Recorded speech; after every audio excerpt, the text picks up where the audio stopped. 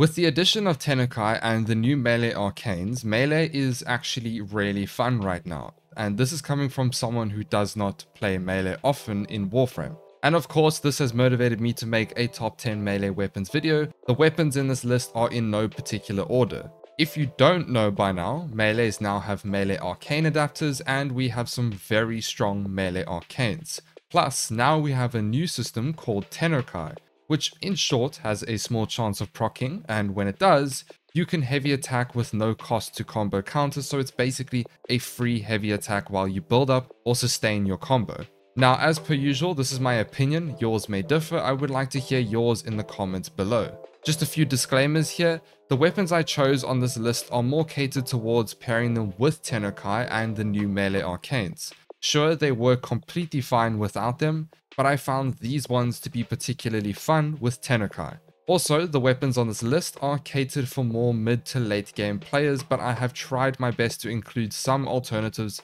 for the baby Tennos who are watching this video. So just keep that in mind. I have done a bit of testing with Tennokai and I have found some interesting things with this new mechanic. I haven't seen many content creators do a Tennokai video explaining which weapons are good for it, which ones aren't. Pause. As I was writing the script and I said this, the Kengineer posted a video on Tennokai, so go and check that one out. With that being said, I still would like to use this video as a platform to ask you guys if you would like me to make a Tennokai video, even though it's been some time since its release. Comment down below and if I see quite a few of you asking, I will consider making a video. Before we get into the list, just like I did with the top 10 primaries, let's get the OP weapons out of the way. You already know what they're going to be, Glaive Prime, Cerata, and the Xoris, the three Glaives. The majority of the player base already knows, so I'm not going to blabber on and waste time on the video.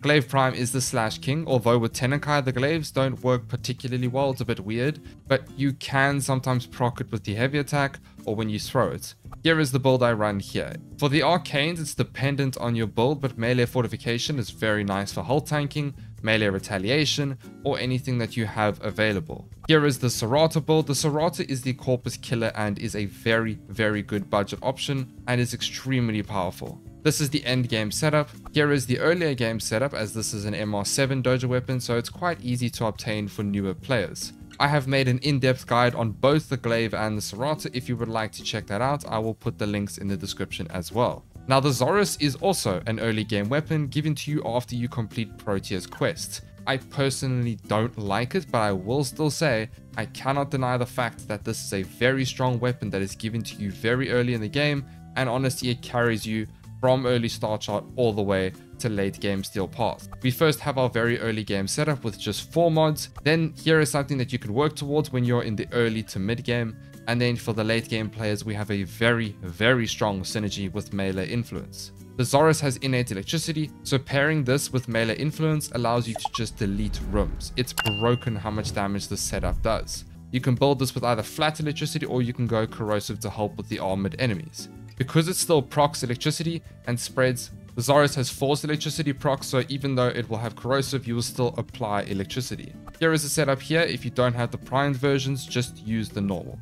I will say this now because I don't want to repeat myself in the video for all of the builds. Two things. One, if you don't have the primed versions, just use the normal versions. And two, my builds are guidelines. I show what works for me. If you find something better, by all means, go for it. You don't need to follow my builds exactly. You play the game how you want to. Alright, let's get into it. The first weapon on this list will be the Prisma Ohma.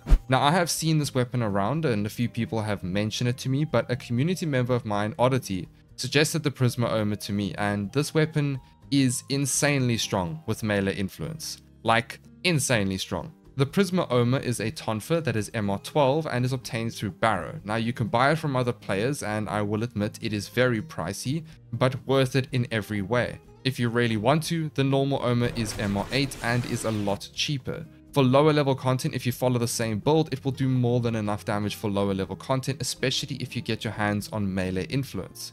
The way melee influence works is on melee electricity status effect, 20% chance for elemental melee status effects to apply to enemies within 20 meters for 18 seconds. This cannot refresh while active. So this means if you apply, let's say, viral, radiation, and electricity, for example, when it procs, you would spread all of those elements to enemies in the range. It's a very strong arcane for those weapons that have innate electricity or have high status chance and you just simply mod for electricity.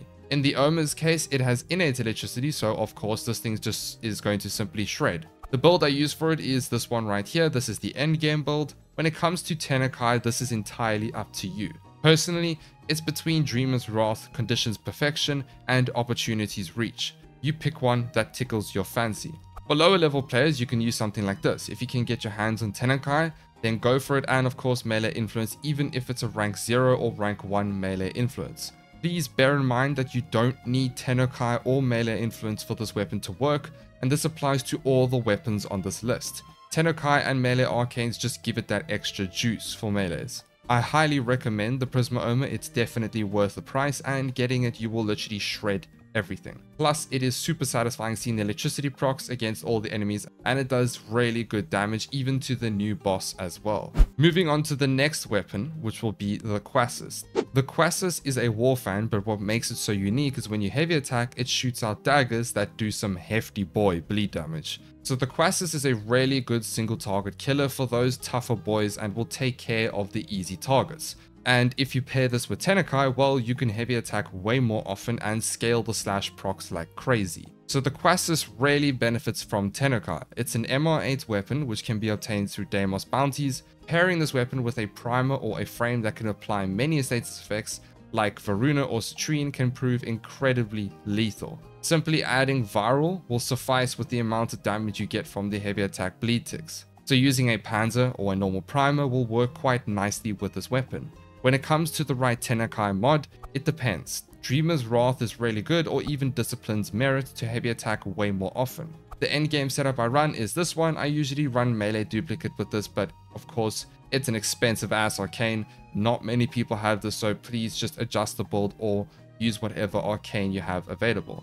Animosity is also very good and melee exposure is also very nice if you are running a caster frame. If you're not running duplicate, Run Sacrificial Steel instead of True Steel for more crit chance. I use Votive Onslaught for the stance, and this build is focused on flat damage and boosting the slash procs. The cheaper build for low MR players is as follows, again if you can get your hands on Tennokai, use whichever one you have available. Overall, the Quassus is really fun for Demolishers and Thraxes in Void Cascade. Also, it's just fun to use Warfans from time to time. Alternatively, we have the Gunsen Prime. Here is the endgame build I usually run. It's pretty much the same framework if you're interested in the Gunsen Prime instead, which is Wisp's Warfans. But the Quassus is something different and really fun. I highly recommend it, especially with Tennokai. Moving on to the next weapon, which will be the Innodem. Now this dagger pole shtick has insane range. What makes the Innodem even better now is if you pair it with the new Opportunities Reach, well, you have some really good range with your heavy attacks.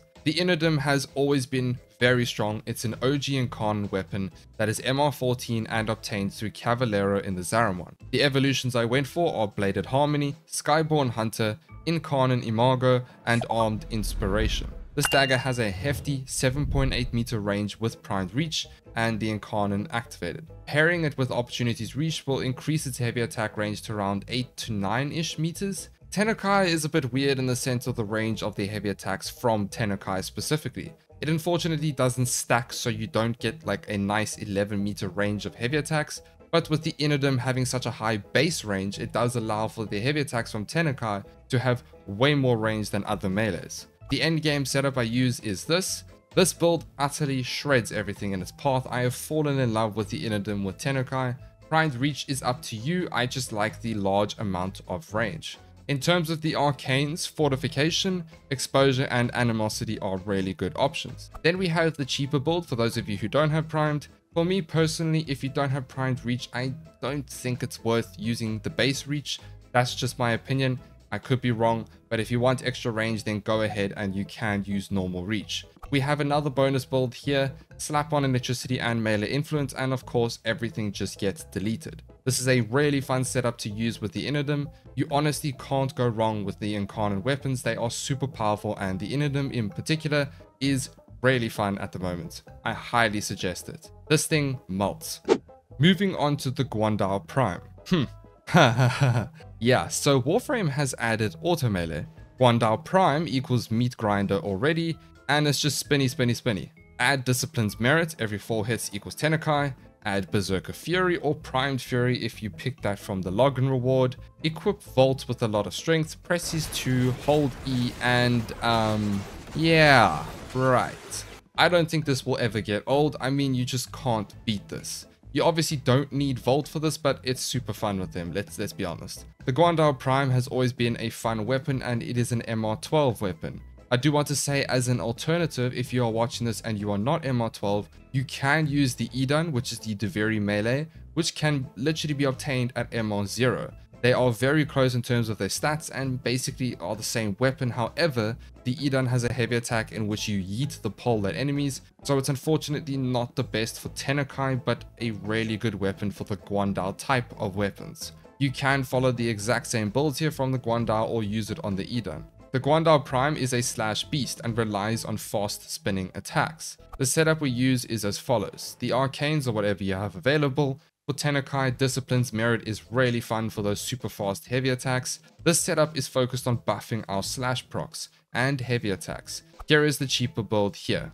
Honestly, you can't go wrong with the Guandao Prime, it's super satisfying and pairing it with a primer makes this weapon melt everything. Personally, the Guandao is one of the best with Tennokai. Moving on to the next weapon, which is the Praedos. The Praedos is also an OG Incarnate weapon. It's an MR14 weapon acquired from Cavalero in the Zariman. Here is the thing. The Praedos is a Tonfa weapon. You get the Kronen Prime and then you get the Praedos. These two are commonly compared. The Kronen Prime does in theory do more damage, but not by a drastic amount that you have to use the Kronen. After the addition of Tennokai and Melee Arcanes, I personally say the Praedos is just so much better. I use this thing all the time because of the utility it gives from the evolutions. It does more than enough damage and offers way more than the Kronen Prime. The evolutions that I went for are Drifting Grace, Shockwave Synergy, Evolved Ascension, and Universal Readiness. The speed this weapon gives for any frame you are running is just invaluable. I love using the Praedos to speed up my missions and to use it every now and then. The parkour velocity is just too good. For the setup that I go for, I use this one here. Opportunities reach for Tennokai and then whatever arcane you have available. I would recommend melee fortification. I don't have a budget build, it's basically the exact same thing just without the primed versions. I do have an alternate build which focuses purely on crit and heavy attack damage as well. Overall, the utility from Praedos is unmatched. If you prefer the Kronen Prime, then by all means you can use the exact same build here, but the Praedos can just be used as a movement stat stick even if you don't like using melee. Really worth getting when you hit MR14. One of my favorite melees to use right now. Moving on to the sixth weapon on this list, which will be the Venka Prime. These claws allow you to feel like Wolverine in Warframe, with its unique trait allowing you to go up to 13x combo instead of the usual 12, this thing becomes a slash demon. And when you pair it with Tennokai, well, you get some really smooth heavy attack animations. It just feels like you're gracefully committing genocide through missions. I was hitting millions of bleed ticks with the Venka Prime and honestly it's super satisfying to use. It's also a late game weapon, MR14, Again, it's a little pricey in terms of platinum value, but worth it. If claws are your thing, then the Venka Prime is a perfect option for that. However, if you are a lower MR player and watching this, the base Venka is MR4, which is really early and they are certainly capable of doing star chart comfortably. For the endgame build, I run this setup here. You have two options. You can either run it with Viral, or you can drop Viral and run Reach for more range and then Weeping Wounds for more status chance as you stack up your combo. The viral setup is for those who don't like priming, and the non-viral setup is for those who normally like to prime enemies. When it comes to Tennokai, either use Dreamer's Wrath or Opportunity's Reach. And the arcanes are flexible to what you have available. I am aware that not everyone has melee duplicate because I know the comments are going to come after me in this video. For the baby Tennos watching this, this is a simple 4 mod build for the base Venka which will suffice in Star Chart. Swap out Fury for Berserker Fury when you get it. So the Venka is a really strong option you'll be doing fat amounts of slash procs with the primed version and it's not a bad early game weapon for non-primed alternative. And that's the Venka. Moving on to the legendary Nikana Prime. It's no secret, this katana has been part of the top melees for the longest time. The Nikana Prime is honestly one of the most satisfying weapons to use and it does stupid bleed damage. It's also worth noting if you don't like the Nikana Prime because of the hefty boy price, the Zor version is actually really good even the Skiajati isn't a bad weapon as well, which is given to you for free. So you can copy the same build framework for those weapons if you want a cheaper version. With Tennokai added, the Nikana does stupid damage. If you pair it with melee exposure and weeping wounds, well I don't think there is really anything that will stand in your way with this weapon. Another really cool thing which I just discovered now about the stance blind justice is if you block and melee while walking forward you will dash forward around 10 meters. This is actually a really fun way to move around. The end game build I use is this one here. This build is focused on heavy attacks as well as stacking up your slash procs with weeping wounds. Condition overload for priming of course, I use melee exposure because it's really easy to sustain that corrosive damage and with the addition of weeping wounds you'll be proccing corrosive really easy, helping you do more flat damage when you heavy attack to armored targets. And because you drop the armor a lot, your heavy attack damage is going to scale a lot. The cheaper version will just be no primed mods. Honestly, I don't have much more to say about the Nakan. It's a katana, it's super satisfying, and a lot of people know it already. The majority of people watching this will be no stranger to this weapon. It's the perfect choice for your normal day-to-day -day content. Moving on to the Hate Incarnate. Now, the Hate Incarnate is part of the new Incarnate weapons. What makes the Hate Incarnate so cool is when you get a 6x combo, you get the Incarnate form, which shoots out explosive heat blades that apply heat and impact. Because these projectiles apply heat, pairing this with melee exposure, again, will strip more armor because of corrosive, allowing you to do millions of damage when you use Tennokai, plus this weapon already does really high slash damage which ignores armor anyway. Even before the incarnate form, this thing does damage. So if you're watching this prior to Steel Path and want to use the base one, absolutely go for it, this thing will shred Star Chart. You can pre-build it, wait for Steel Path and farm the Incarnate version when you get to Circuit. The Hate is an MR8 weapon which you get from Stalker in Star Chart. The evolutions I went for are Swordsman's Flourish, Resolute Force, and Absolute Dominion. For the endgame build, we use this setup here, focusing on heavy attacks and increasing your bleed ticks with a Bane. Condition Overload for priming, I went for Opportunities Reach, but again, this is flexible to what you have or what you like.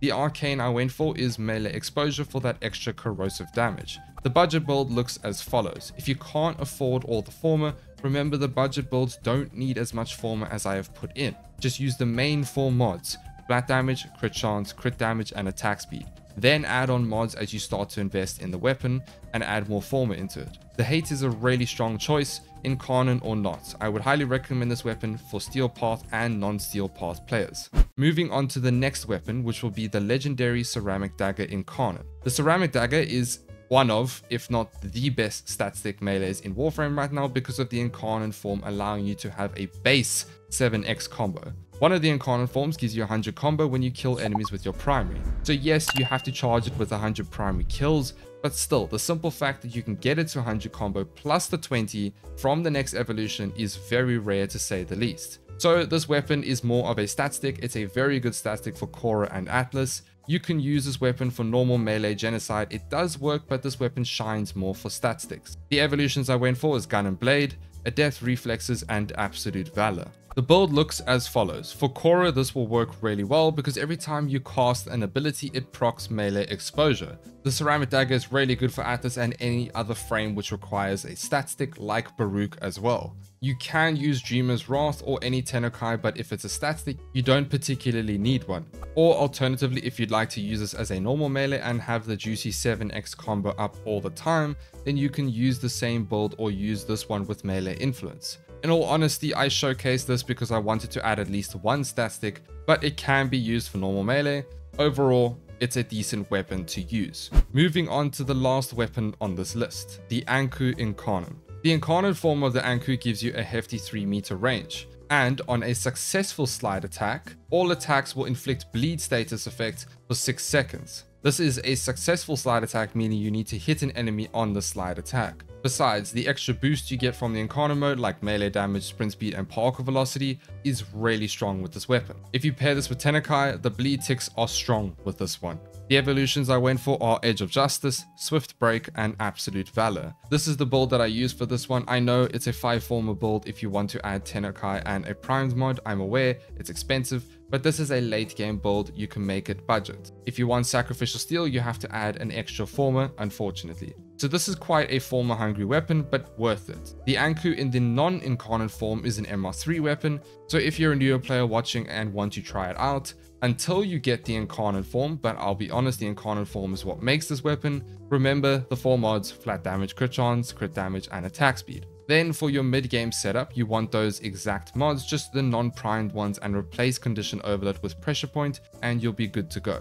The Anku is a really satisfying weapon to use and a fun incarnate as well with big range and basically permanent forced bleed ticks. It's pretty broken. Before we conclude this video, I do want to add some honorable mentions. The Rumblejack is the new war dagger that shreds at the moment with melee influence and gas. This weapon was suggested to me by a community member on Discord named Burst Gosling, so thank you so much for showing me this. It destroys everything and anything right now. Pairing it with some pool mechanic like Nautilus or a pool subsume, you will destroy everything. It's, it's satisfying. Then it will work really well. Here is the build I run for this. Again, you can make it a budget version if you want to. The next honorable mention is the Slaytra. Again, following the electricity plus melee influence strategy, the Slaytra has a unique trait doubling the duration of bleed ticks, so they are affected by bleed ticks a lot longer, and when you spread it to enemies, well, you can kill groups of them. Pairing this weapon with Expedite Suffering and you are going to get some serious damage. Here is the build I run for this weapon. Of course, the dual Ichor Incarnon is stupidly broken at the moment, but unfortunately I don't have it. I didn't farm it, I know, scandalous. It is very good. If you want to go and check out other content creators, they have made a video on that weapon as well, but I could not show it in this list. And that's the video. Let me know if you agree. I tried my best to give early game alternatives for the later game weapons to allow newer players to use some of the weapons on this list. Remember, they are more geared towards Tennokai and the new melee arcanes, but again, they work perfectly fine without that. I hope you guys enjoyed this video. I sunk a metric ton of Forma for the melees, so I would really appreciate if you would hit that like button as it goes a long way for me. A special thank you to all of our channel members who helped me pay the star chart tax. I really appreciate your support. I'll see you guys in the next one.